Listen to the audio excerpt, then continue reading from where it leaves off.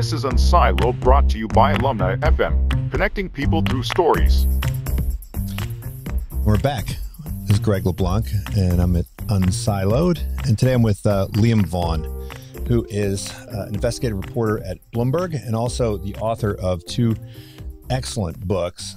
Um, this one here is the latest. It's called Flash Crash, and we'll probably spend most of the time talking about about this book. But then there's another book which you co-authored, which I really enjoyed, uh, which is called The Fix, which is uh, one of the best uh, kind of um, reports of um, uh, LIBOR and how LIBOR was was hacked and um, you know how that whole thing unraveled. And I think we're still kind of feeling the effects of that. We haven't really sorted out how we're going to um, think about those markets. But why don't we get started uh, talking about um, Flash Crash, and then we'll talk a little more about kind of you know how you came to this story, how you've uh, been doing your reporting, and um, you know what are the next stories that you're interested in. I, I actually found that in this book. The, the, there are a bunch of side stories that were um, at least as interesting as the main story, and which could serve as fodder for you know a whole bunch of of other other books. Um, and so let's get started by by talking about uh, you know Nav Sarao and how did you first come to um, uh, know about about him? What drove you to write this book? Uh, and um, you know, were you thinking about it right at the moment of the of? Were you thinking when the flash crash happened? Were you thinking, "Hey, this is something that I really need to look into," or did it only occur to you as a major story after the arrest of of Nav Sarao? So I was working as uh, a, beat reporter, really, at Bloomberg, covering finance in London. Uh, and I think actually when the flash crash happened, I wasn't even at Bloomberg yet. I think I joined in 2011. So that you know, it was it was an event that I was aware of as a as a finance reporter, um, but didn't pay a huge amount of attention to it at the time. Um, and then it was five years later, in 2015, when um, there was an arrest of, of, a guy called Navinder Singh Sarao, uh, who was a, a, day trader in London. Um, and, you know, there was an announcement, quite a lot of fanfare from the US Justice Department that they'd finally, you know, got the culprit of, of the flash crash, which had occurred five years earlier. Um, and the story just instantly piqued my and, and pretty much everyone that does what I do's attention at the time for a number of reasons. One was that, you know, the the idea that this guy on his own could potentially have have um, you know helped cause this global financial crash just seemed really um, surprising and, and perplexing. And then gradually over time, information about who he was started to emerge. Um, this was a guy who was operating out of his childhood bedroom in his parents' house underneath the, the flight path of Heathrow Airport. You know, never really worked at a major financial institution, had taught himself to trade, you know, wore a tracksuit and swore like a sailor, and yet when they arrested him was worth seventy million dollars. Um, and you know, so so he was just such an unlikely character. It wasn't just that it was one guy that was this thing was being pinned on, but it was this guy that, that made it fascinating. Um, and then as a reporter, you know, you're kind of scrambling around trying to find how you can push the story forward. Every, you know, everyone's doing the same thing. And just by a real stroke of luck, I actually happen to know a guy who used to sit next to Nav when Nav uh, had first started learning to trade at what were called arcades. You know, so a far cry from an investment bank. You're talking more like uh, an internet cafe, really, where they give you some funding and, and, and you learn how to trade. And my friend had sat next to him. And even before he'd become kind of infamous for this event, everyone remembered Nav because he was such a brilliant trader and such a idiosyncratic guy. Um, you know, used to kind of sit there with um, the kind of ear defenders that road users would would use to block out noise and would sit there in you know in a catatonic state for eight hours a day. It was just so much better at trading than all of everyone else in the room. Um, so once that you know once I started going down that route, you know I really realised that this was a, a, really unusual and a great financial story.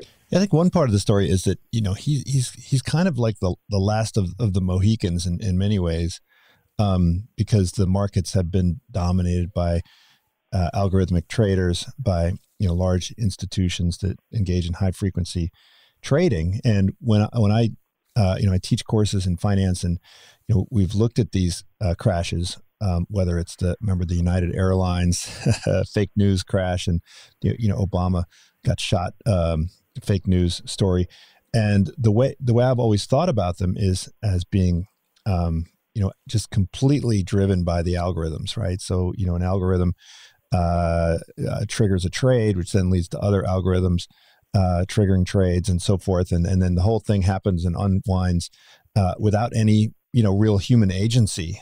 Um, and yet here we have a story where um, the authorities are pinning at least kind of the proximate cause of the crash on uh, an individual trader who is uh, making manual trades um, with his mouse, right? Actually, you know, buying and, and selling. Uh, and and so that's yeah. kind of to me the most surprising part of the whole story is that you know you still actually have a, an actual human who is uh, you know, making these these these fairly large trades based on uh, his flow and his instincts and his uh, kind of reading of the of the ladder. Um, to what extent is is is he kind of uh, you know representative of almost like a, a previous uh, generation of of traders?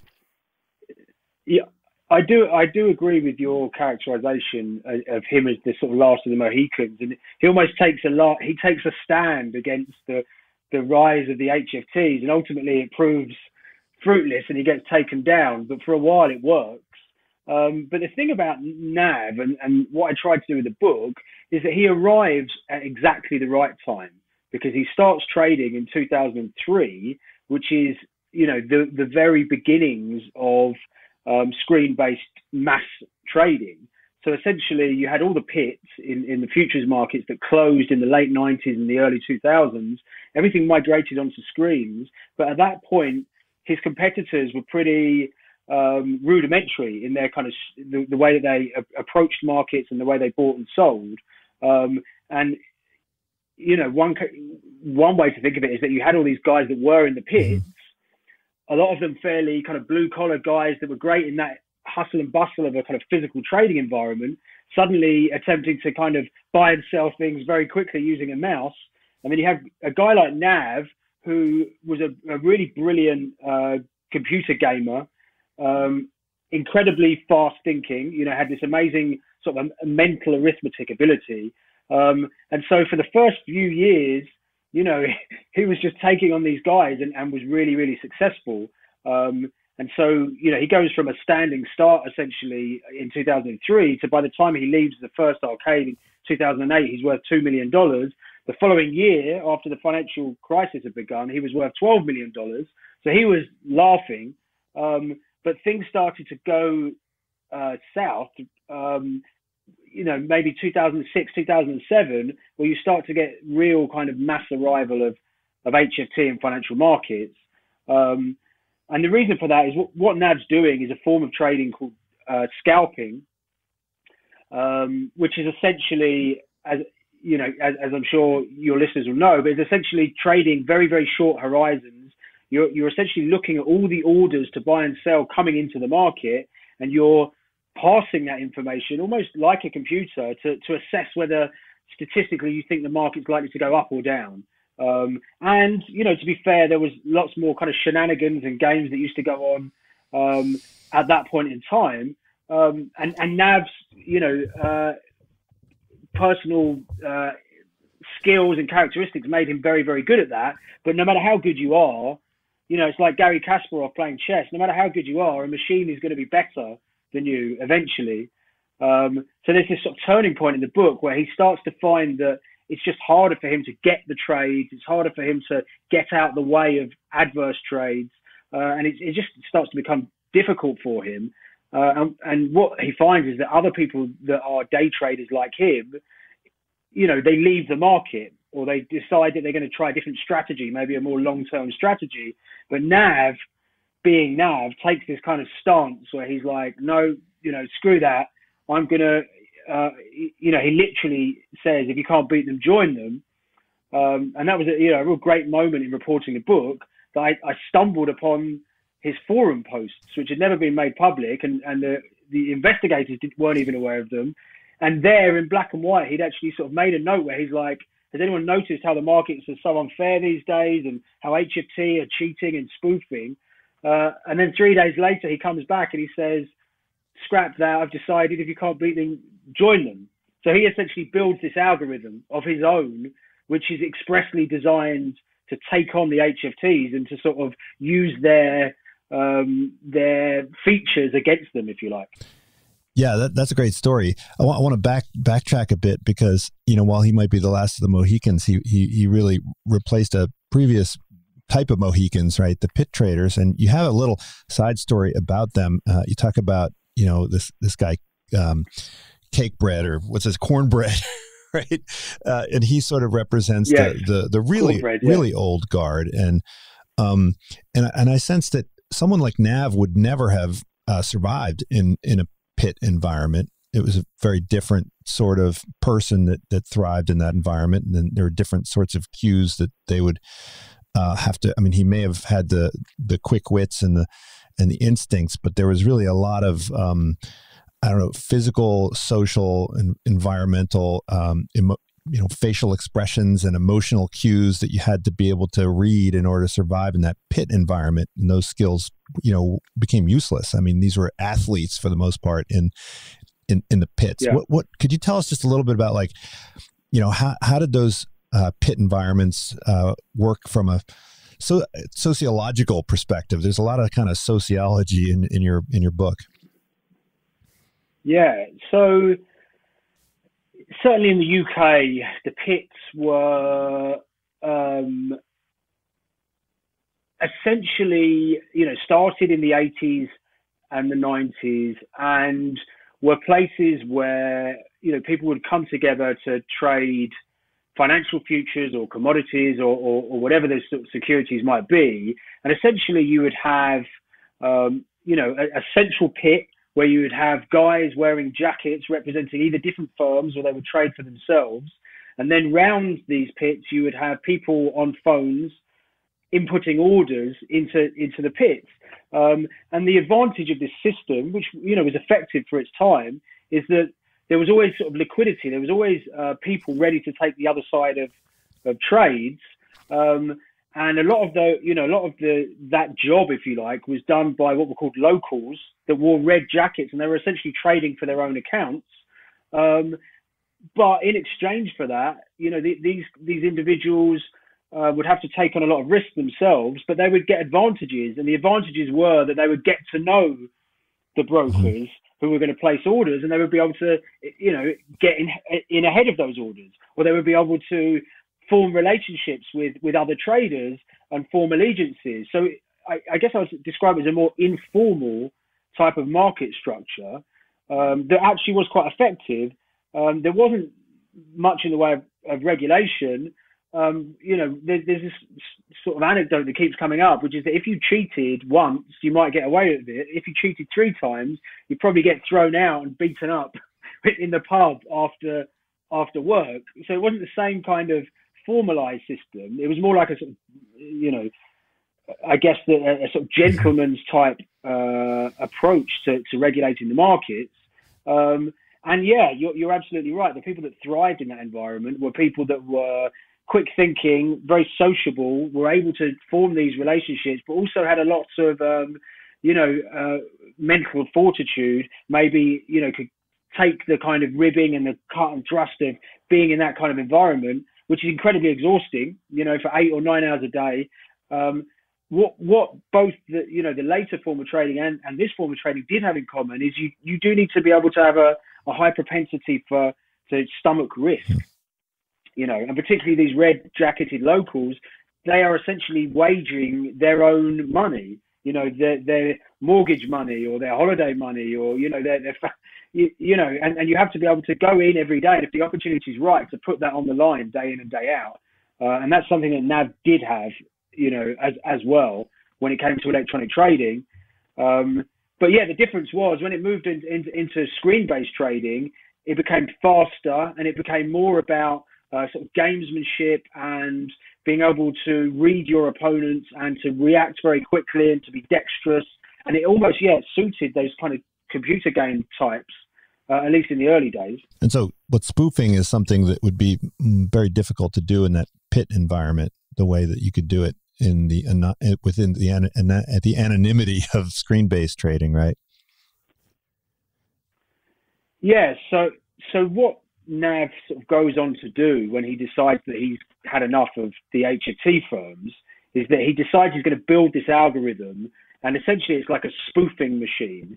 And so if you imagine that HFT, at least the sort of form of futures-based HFT that I write about in the book, essentially what you have is like robots monitoring order flow, monitoring orders coming and leaving the market, and essentially using very fast technology to try and uh, statistically analyze which way the market's about to move and to jump ahead of that trade before anyone else can do that. Um, the advantage that they have is that they're incredibly quick and that they, you know, they're programmed by very, very smart people that are able to uh, deduce, you know, st- statistical likelihood incredibly well. What they don't have going for them is an ability to really um, differentiate between uh, good signals and bad signals, if you like. So, so what Nav does is, if you can imagine a very basic example whereby um, a bunch of sell orders enter the market, you know, a huge number of sell orders enter the market, well, it would suggest that the, the price is likely to go down. And then you might see the algorithms also start to join the selling in anticipation of a of an inevitable market fall. And that's, that's obviously a very basic example, but um, that's you know, to, to be fair, like Nav's algorithm wasn't hugely more complicated than that, at least at first.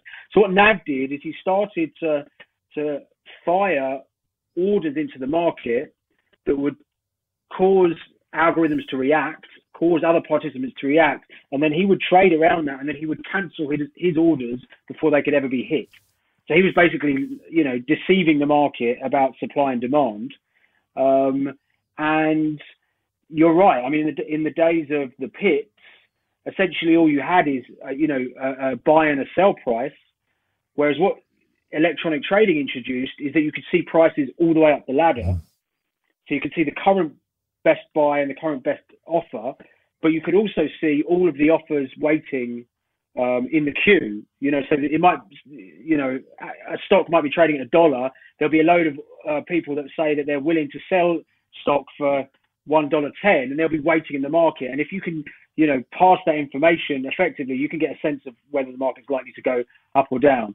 Um, one of the things that I found really fascinating in doing the book is that despite the apparent sophistication of, of these HFT firms, despite their huge profits and the, the you know the caliber of the people they hired, that they were so easily fooled yeah. um, by Nav's machine that essentially you know, he, he basically built this machine that would fire orders like three or four or five price points above the current best offer.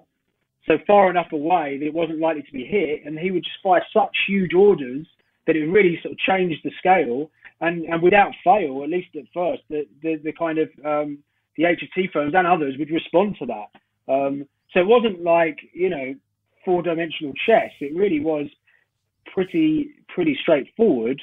Um, and we can talk about that. But he, you know, he did he did over time adapt the algorithm to become a bit more sophisticated and to try and um, you know keep up with the advances of HFT. But it never really got to, to a hugely complicated form. Well, and it what's fascinating is he was able to build this algorithm at such a low cost. I mean, he wound up paying what twenty thousand uh, dollars to have it custom designed for him on a readily available software tool that pretty much any trader could get access to. Yeah, I mean the first incarnation of this thing, he he had a, a, a basic software package with Trading Technologies, and he wrote to the guy at Trading Technologies, and they came and they installed it for him for free. They didn't even ask what he was, you know, what what this feature that he wanted that was going to fire and then cancel orders would, would be for. And then later on, as he kind of wanted to modify it and get a bit more control, yeah, he wrote to a, a software guy in, in Chicago, and and I, you're right. I think they agreed on twenty five thousand dollars, and uh, you know, I think Nav then cadged him out of a few grand. So the guy never really got, you know, even got what was agreed. Um, did that guy ever monetize that with but, other? You know, without wanting to. Yeah. Did he ever monetize it with other customers? I mean, it, it seemed like, you, you know, this this tool. Pretty much anybody could use this tool to do what Nav did. Yeah, so so that's almost like a subplot of the book. So he gets in touch with this guy called Jitesh Thakkar, and he asks him. He gives him quite a detailed blueprint for this, essentially a spoofing machine that is going to place orders and then cancel them once other things are happening in the market. Uh, and it was very effective. It meant that those orders that were spoof orders really very, very rarely got hit. But it's, you know, pretty basic, and the guy had it up and running within a few months. At the time, um, the wording of their contracts was such that the software developer was going to be able to market it and sell it to other people. Uh, but that came back to bite him quite badly because um, not you know meaning to sort of spoiler alert the story, but after Nav ends up getting arrested, he then gives evidence against this guy, and the software developer ends up um, being charged for aiding and abetting spoofing.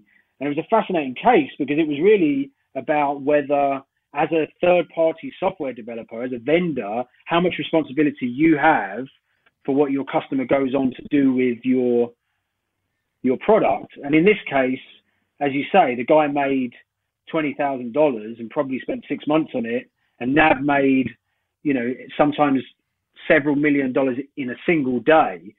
Um, and ultimately, Jitesh was uh, was found. Well, the case was actually thrown out, so he was never uh, criminally prosecuted for it. Um, but yes, I think you, you know you would do well to think twice in the future about just asking asking questions really about well yeah what you might want to what what this guy might want to use it for. Well either either that or don't ask questions right? One or the other. Well i think that was the problem that he didn't ask the question and the, the whole point was that he was quite sophisticated and experienced market practitioner that he he was on some committee of the cftc mm. so the whole argument was like you know, anyone who's been in this market for any time would have known what it was for.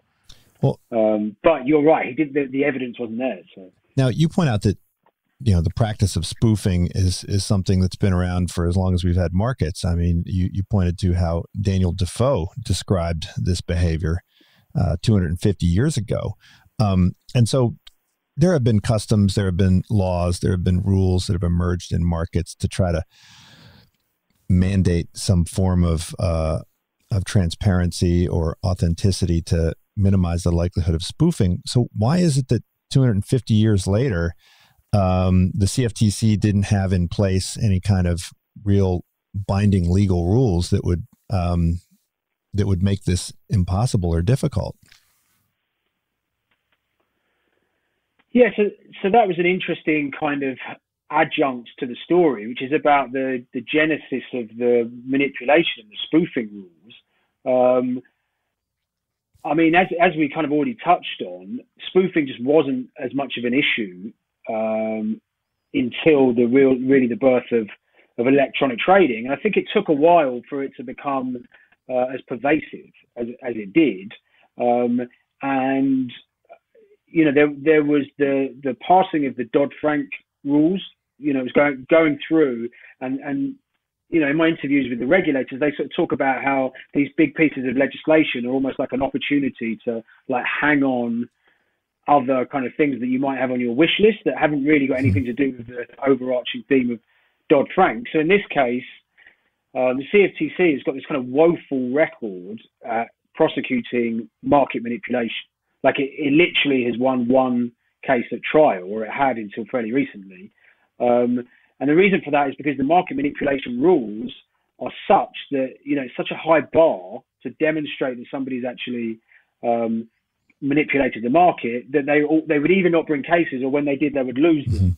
Mm-hmm. Um, one of the fundamental issues is that you have to demonstrate intent. So not only do you have to sort of have the data that shows that you traded in, in a way that looks like you were trying to hammer the close or manipulate the market or whatever it was, but you have to have some kind of evidence that you meant to do it and that you succeeded in doing it. So there's not even enough that you know that, that you meant to do it, but you have to demonstrate that the price was different than it otherwise would have been. So it's such an onerous onerous thing. So when Dodd Frank was passing, the um, you know the kind of regulators at the CFTC saw an opportunity to issue more specific laws. So you could just define spoofing as placing an order that you don't that you intend to cancel.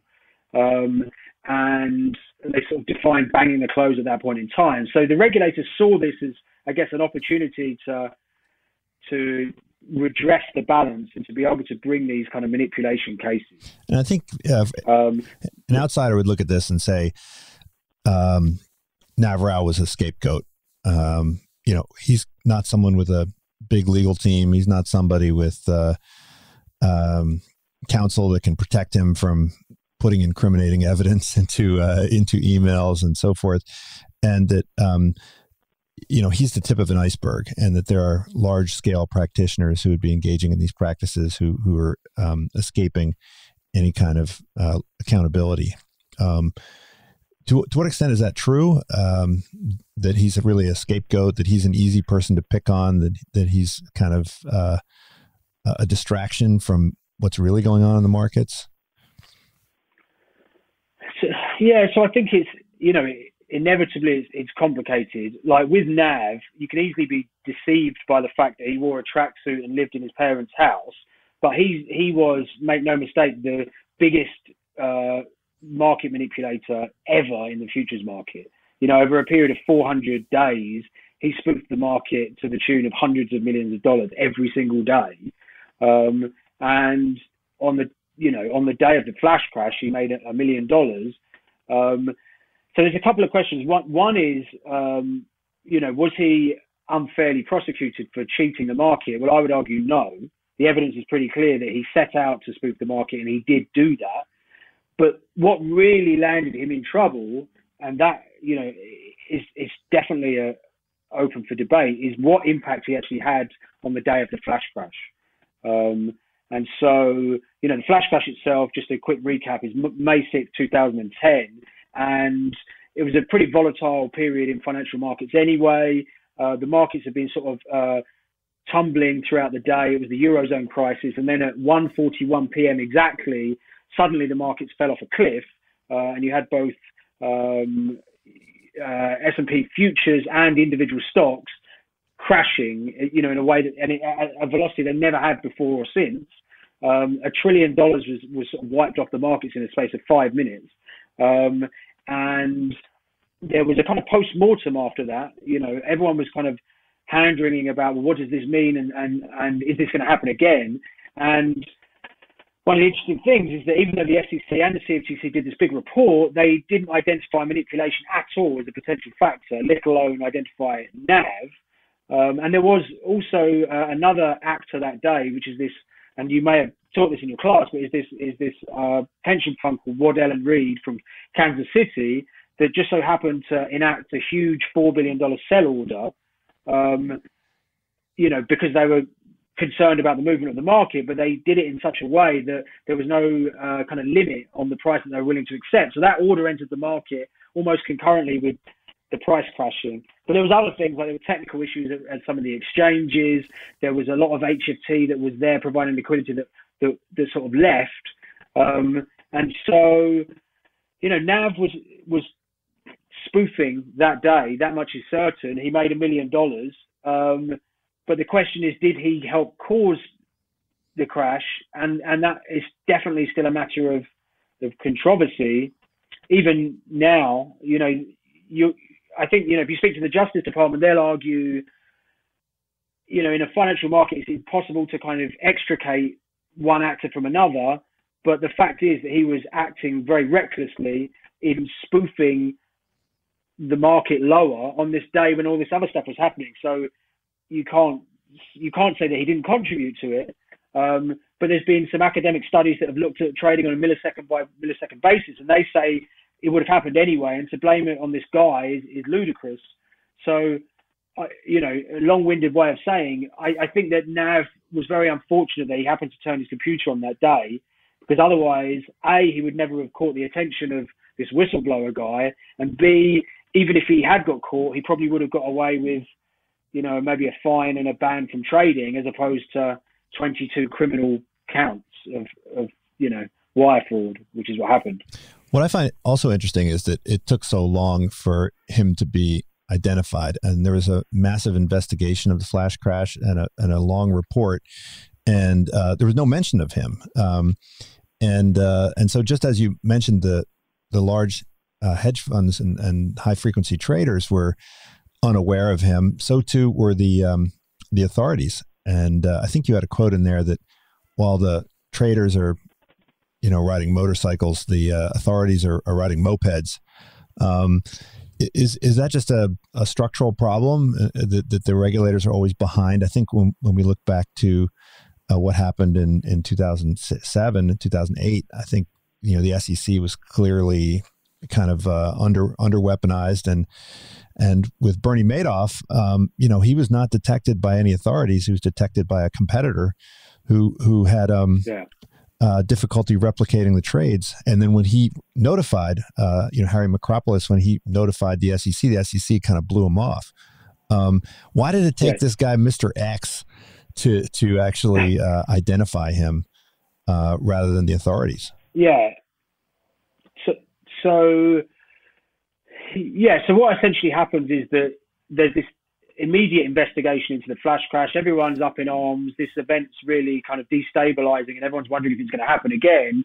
And then everyone's talking about, oh, let's regulate the markets a bit. Let's find out what algorithms people are using and try and be a bit more, uh, have a bit more scrutiny. And then gradually, you know, I, the attention span of politicians turns onto something else, and everyone forgets about it. Um, and then in 2012, another guy uh, who's trading essentially for his own account is uh, sort of back testing some software that he's built, and he decides to back test it on the day of the flash crash because that was such a eventful day. So he wants to see if his software is effective at, um, uh, you know, software that allows him to visualize what's happening in the market. So he just turns it on on May 6, 2010, and he sees that there's all these 100 million blocks of sell orders entering and then cancel, you know, being cancelled in the market. Um, and, you know, he's an experienced trader. It takes him a while, but eventually he comes to the conclusion that uh, this must be manipulation. And he's one of the very first people to apply to the uh, the, the new whistleblower program, which is like the paid whistleblower program that came in with Dodd Frank. Um, but you're absolutely right. The, the incredible thing is that he doesn't have access to who's trading. All he can see is like orders entering anonymously into the market, which is publicly available information. And yet you have the CFTC and the SEC that both apparently did this deep dive using, uh, you know, full data as to who exactly was doing what, and and it, it completely eluded them. Um, there's a couple of reasons for that. One is that the idea of spoofing wasn't well understood. Spoofing depends on people placing and cancelling orders. And what a lot of the original investigation was based on was the actual orders that were consummated. So, so that was one thing. But uh, like a bigger answer to your question, I think, and it's something that comes up a lot in my reporting, is that the first line of defense for cheating in financial markets or certainly in futures markets is supposed to be the exchange. Mm-hmm. So the CME is a self-regulatory organization or authority, and that means that it has a, a, supervisory function. It's supposed to monitor what's going on in its markets and identify when people are doing things wrong. But the problem is the CME is also one of the most profitable companies in America. It thrives on high frequency trading and the volume of trading that goes on. It's not good for business to turn around and say our markets are vulnerable to abuse and manipulation. And so ultimately, in this case, you have the CME failing to identify uh, what was pretty obvious to this guy uh, was going on that day. Uh, and and it's not the first time. You know, uh, we can maybe get to it, but there's another story I've recently worked on, which is uh, about what happened in the oil market on the day that it went negative, and a, a similar kind of stories there, where you have the CME turning around and saying the markets behaved perfectly, um, and when it was pretty obvious that they didn't. So I think that that's a real problem with the current market structure in, in the US.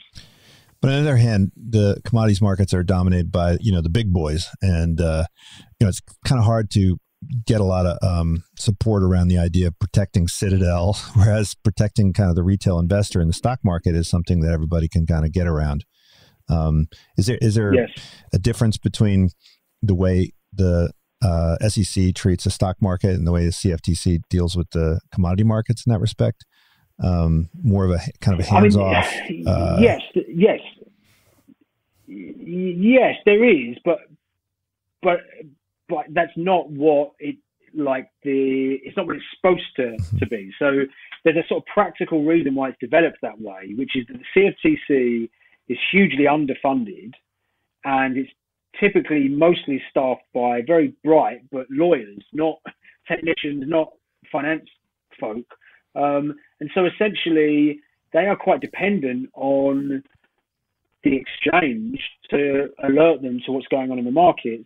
And you know, there's that analogy to, you know, to a Ferrari and a moped or whatever. Well, that's getting, you know, further and further away. You know, as as, as more and more the citadels of the world invest in in uh, technology, the budget of the CFTC doesn't doesn't increase. Um, and I think you're absolutely right. Like there is a difference in the sense that commodities markets and futures are peopled by professionals, but ultimately they also determine the prices of commodities that affect, you know, you and me that are buying oil or uh, cocoa or you, you, know gold or whatever. You know that, that has real world economic impacts. Um, but certainly the SEC has an added responsibility, particularly as we're seeing at the moment with kind of Robin Hood and stuff, whereby essentially anyone can uh, can gamble in the stock market more easily. Um, and yeah, and, and there's a kind of added added responsibility there. Um, and the SEC, you know, as a result of that, has got considerably more funding than the CFTC.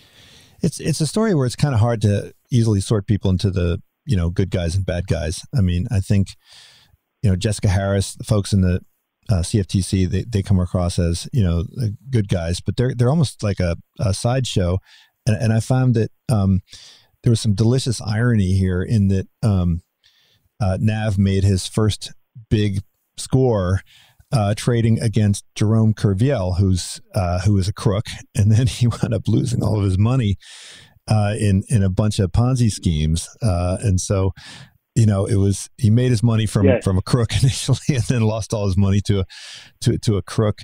Um, the second story I found particularly interesting and, and a potential uh, another book for you. Uh, tell us a bit about um, Jesus Garcia and and what you learned about him, and more importantly, you know what you learned about that whole world of of tax shelters and um, you know scams. I mean, they say a fool and his money are soon soon parted, and and you know Nav, as brilliant as he was, with respect to um, the video game like environment of the markets. He, he wasn't a very good reader of, uh, of, of people in, in the flesh, and he certainly couldn't see through the yeah. kind of con artist of, of this guy, Jesus. Yeah, so um, one of the just bizarre things about the whole story is that Nav never spent any of the money he would just accumulate money, more and more money, and he he sort of took this decision early on that he wasn't going to tell his family about it, and he wasn't going to tell his friends about it. Um, you know, he's got quite a simple life in Hounslow, lives with his parents. His mum and dad are on his case about finding a wife and settling down. He plays football with his mates. He drives a, a bike. What did they think? He, what did they think he was doing? What did they think he was doing all day?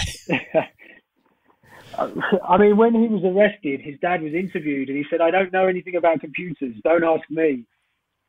Um, so you know, they didn't know. I think you know maybe they had an idea that he was trading, but I think you know Nav had always been a little bit hard work, and maybe it was just you know best not to ask. He's upstairs doing his thing, um, and so yeah, the, the, the, I think one of the things that makes him so sympathetic as a character is that yes, he's doing this thing in the market. He believes he's justified because he's taking on the HFTs. But at some point, his accountant notices that he's making a huge amount of money and says, "Hey, Nav, do you want to meet my friends? You know, these guys can really help you with your money." Um, and so he gets introduced to uh, like a cast of uh, increasingly colorful, um, you know, slash crooked investment advisors who glom on to the fact that this is like the ultimate mark because he's got money flooding in and he doesn't spend it, and he'll believe whatever you tell him. So, you know, he he at first he invests like 15 million pounds in wind farms in Scotland. He's never been to Scotland. He doesn't know anything about wind farms, but they tell him that this is a great tax opportunity. And if he puts in 15 million, it'll be 250 million in three years. So that's the first thing he does. And then once he does that, he gets introduced to another guy who, uh, yeah, as you say, is called uh, Jesus, who's this kind of Mexican guy who presents himself as a as an entrepreneur uh, and he basically says, you know, my family are, are one of the biggest agricultural families in South America, and essentially, you know, gets Nav involved in, in some other scheme. And, you know, all he has to really do is tell tell Nav that there's a 12% interest rate. And Nav is pretty, you know, pretty greedy. He's like, my bank has only given me 3%. This guy says he can give me 12%. He's met, he meets him twice, and then he writes a check for $45 million. Um, do you think that his this sort of track? yeah. Do you think that you know he found these stories believable because um, his story is so unbelievable and yet true that he thinks that um, there must be other people out there who have uh, magic gifts like like his, um, and and that's why he's not skeptical like an ordinary person would be. Well, I, I think you know the first thing you've got to say is that he was ultimately diagnosed with Asperger's syndrome. Um, so he, you know, has these amazing gifts in one sense, but he also sees the world in quite a black and white way. So that you can see that throughout everything he does. Like he's like looks at the market, sees other people spoofing, they don't get in trouble, so he's like, I'm going to spoof. It doesn't occur to him that well he could get in trouble himself. He's kind of that's his decision and he's going to stick to it. Um, and I think you know with these guys, they seem friendly enough they kind of courted him and would sort of take him, you know, this kind of great scene where they take him to Goldman Sachs and he sort of sits there in a tracksuit slurping a coffee, uh, and they sort take him to Switzerland and show him the high life, if you like, and he just totally, totally buys it. Um, but the other side of it, I think, and this is me, you know, pop psychology, but I think for Nav, if he could not spend the money, and if he could let other people make these decisions, then it almost wasn't real for him. It was like he could keep it separate. He had his little life in Hounslow, and then he had, you know, all these investments and stuff, and he didn't really have that much to do with it. He would just entrust it to somebody else. He never spent the money. He never told his parents, and so he managed to kind of compartmentalize those aspects of his life. And that's why I think when the FBI come knocking on the door, it's just such a, uh, you know, a huge shock to him because he just didn't didn't anticipate that. So that means he also probably didn't miss the money once he lost it, but he probably missed the uh, the life that he had and and the uh, and the thrill of of the trading which he had to give up. Yeah, definitely. You know, the story starts in Nav's bedroom and it ends in Nav's bedroom. You know, he essentially uh, ends up being kind of sent back and, and, and is sentenced to, to house arrest. And, and yeah, there's this kind of circularity to the whole story. Um, and you're absolutely right. Like, you know, of, of, all the people to lose their, their entire savings, he's probably amongst the best. Um, he's, he's, he's, it's actually quite good timing because he's just been released as of last week. so if you can imagine, I've actually received emails from my HFT firms saying, "Can you put us in touch with Nav? Because we'd love to have a conversation." Yeah, it'd be interesting to see if you can get work in a normal environment. Um, in your other book, right? I mean, Tom Hayes yeah. is, is a figure that is the kind of dominant player in this book, and you know he's also been diagnosed with with Asperger's, and uh, they have they have a lot of similarities in terms of their um, their personalities. You know, they're sort of uh, abrasive um, folks. Don't really sometimes know how to get along with people. Uh, but you know, he was not given the same uh, leeway as as Nav ultimately uh, by the by the legal system. Um, do you think do you see similarities between these these two characters and, and maybe just remind us you know what what Hayes uh, did uh, that you describe in this book? Yeah, so, so the fix tells the story of the LIBOR scandal, and it sort of tells it principally through this character of Tom Hayes, who again is good timing because he was released from prison last week. Um, but he became like the ultimate uh, figure of the LIBOR scandal and was sentenced to 11 years in prison. Uh, was actually sentenced to 14 years, reduced to 11. So he, he uh, as you rightly point out, didn't get any of the leniency that Nav ultimately got. Um, you know, just to sort of recap, the LIBOR scandal was this big scandal whereby uh, it turned out that representatives from some of the world's largest banks were um, lying about their borrowing costs on a daily basis that went into this figure called LIBOR in order to make more profits on their trading books. But it was having this kind of huge impact because LIBOR was baked into all these kind of contracts and mortgages around the world. Um, and it became a really big deal at the time because it was after the financial crisis.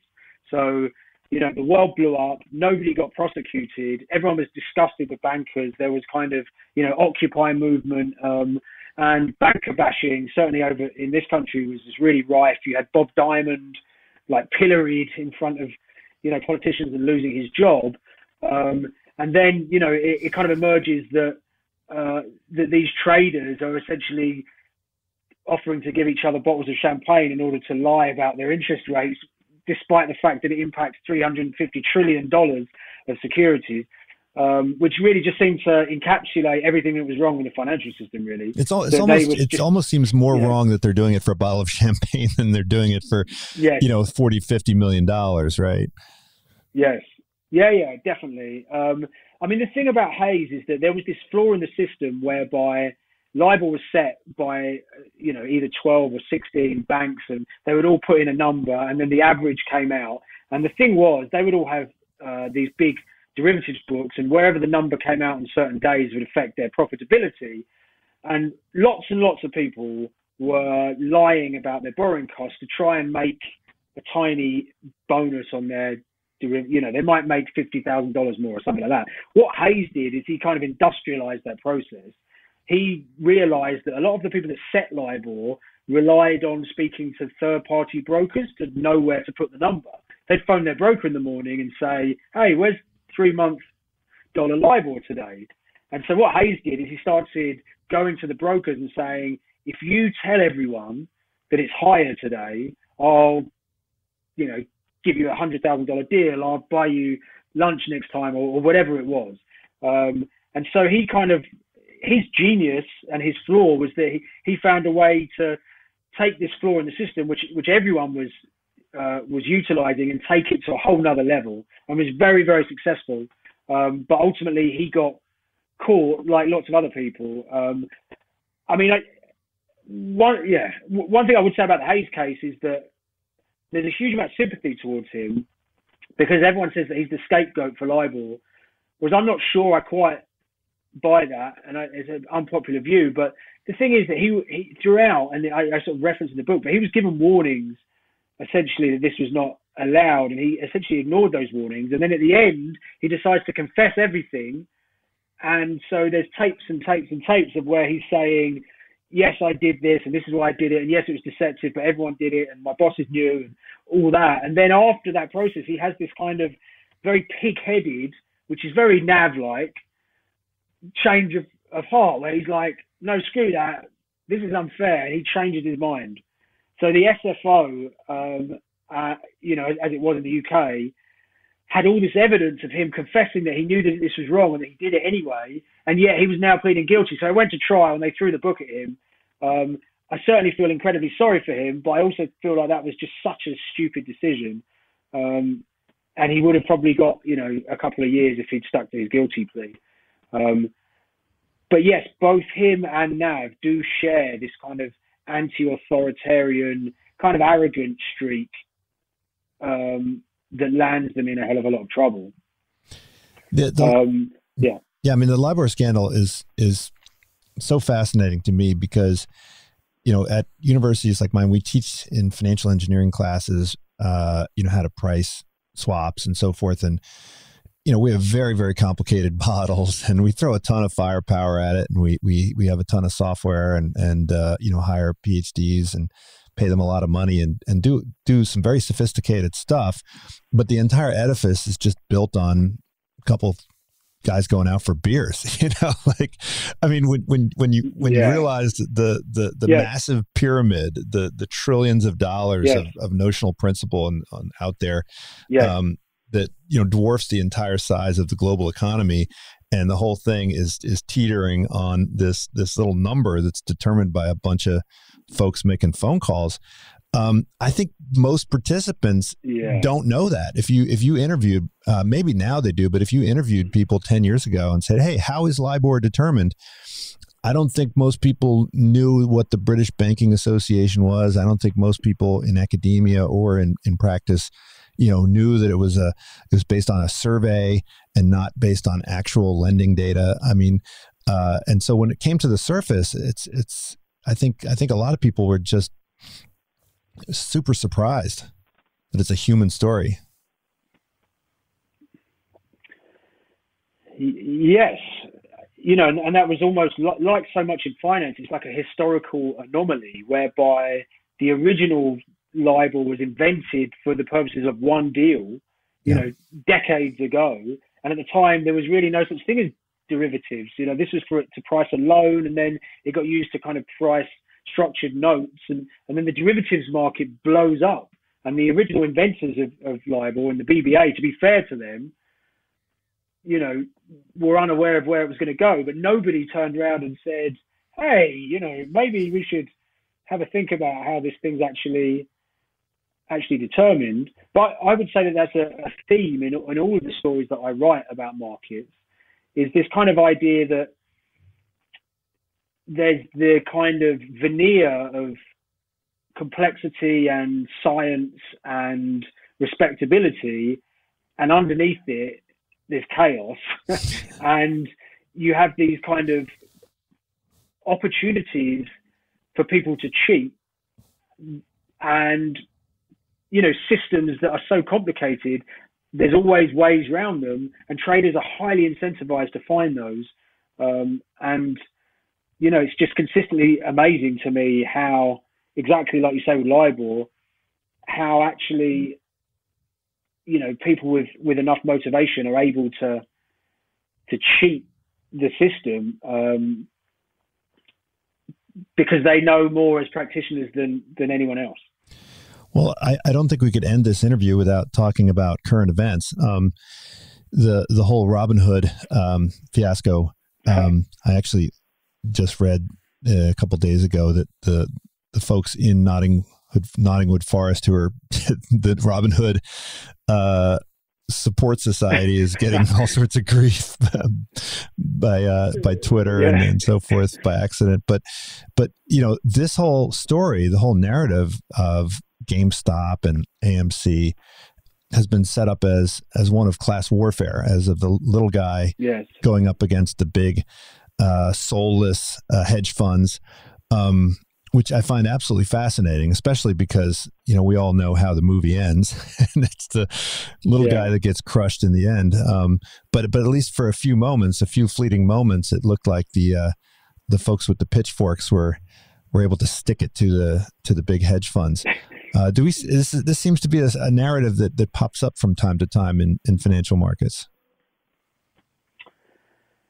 Yeah, definitely, and, and I can't criticize it because that's essentially why I think Nav's story resonated so much. It's the idea that he's the little guy taking on the, you know, David taking on Goliath and succeeding, and ultimately getting taken down. Um, I think inevitably with the Robin Hood thing, you know, from from what I, I know and from what I've read, which is you know no more than than is, is out there, inevitably the, the situation is more complicated than that. It seems like there are some on that Reddit forum that made a lot of money mm-hmm. and lots of people that didn't make any money. And actually, maybe they're quite sophisticated, the people that made a lot of money. Uh, like the main guy, I believe, is like a, a, sort of investment professional, or at least was. Um, and ultimately, you know, it wouldn't surprise me if trading data showed that there were, you know, establishment hedge fund players that were either jumping on the back of or exacerbating the moves, you know, and made more money than than the Robin Hood traders did at all. Um, so I think it's appealing, but I think ultimately it's it's definitely simplistic. Um, but what I do find fascinating is just how the government and the regulators are going to be able to grapple with this, because it seems like, like we were talking about earlier, the manipulation laws might not be fit for purpose. You know, if you all go on a forum and say, "Hey, I think this dog of a company is really great," and everyone else goes on and says, "Yeah, I agree with you. Why don't we buy it?" Is that manipulating the market? I'm not sure it is at the moment. Um, and you know, as far as I know, the numbers of uh, forum members on this on this Reddit forum have like doubled. Mm-hmm. So you have this swarm of retail traders that you can imagine like going from stock to stock like locusts. Um, so it's going to be really fascinating to to see how the government responds to that and whether that was it, whether it was a one-off because of the circumstances of that one stock or that two stocks or whether this is something that we're going to see going forward. Yeah, I don't know what you think. And that's sort of the uh, why there was so much support for the free nav uh, hashtag was this uh, seeing him as the little guy. I mean, I think that look, these were super small cap stocks that that were being um, gyrated all over the place, and and uh, although there will be plenty of people who will lose money, plenty of widows and orphans, and and you know young gamers who will lose money, um, it's kind of small potatoes compared to what um, the E Mini is, right? And uh, and so yeah. I think that while it probably will raise some some investigative hackles, uh, as long as it's limited to the small caps, uh, I, I, don't think it's going to cause any kind of massive regulatory intervention. Um, but you can see already the folks at Robinhood are concerned. You know, they don't want to lose their uh, golden goose. Um, and if uh, if there are some regulations imposed on them, uh, and on these forums, then they're going to see a loss of business. So I think they're taking an interest in kind of toning down the gamification that they use to try and uh, make sure that they avoid any kind of regulatory oversight. But that could be your next yeah, book, de- right? Definitely, yeah.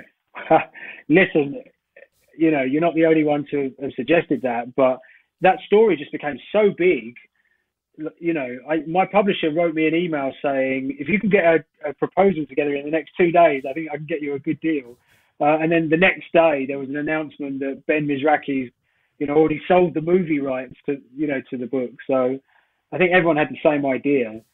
Um, yeah, I don't know. I, I, you know, the thing about the Nav story is it, it just was so rich because – he always argued that the system was unfair. And, and when he was arrested, it was so shortly after the Michael Lewis book, talking about mm-hmm. the HFT techniques and the kind of idea that the markets were rigged, that it, it wasn't like superimposed after the event. Like he genuinely believed that he was fighting against this kind of corrupt system. And um, I think with Robin Hood, to me, it's more anarchic than that.